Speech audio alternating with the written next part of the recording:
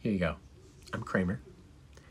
It's something that irritates me and many others is people who don't know how to use a blinker or refuse to use it just in general.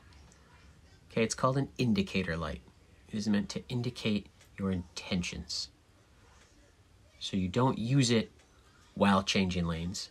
You don't just turn it on as you turn. You turn it on, blink, blink, get over.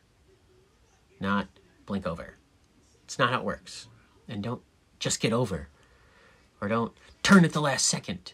Okay? I mean, I understand. Sometimes that happens. You're going to have that. Try not to. But I mean, we all do that. You're like, oh no, my turn's right here.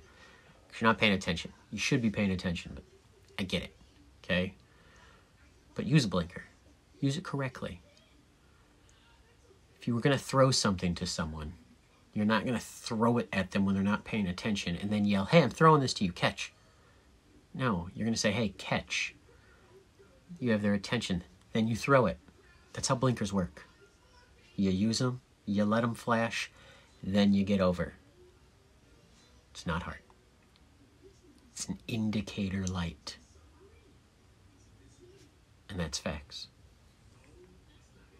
Do it because I told you to people will be happy.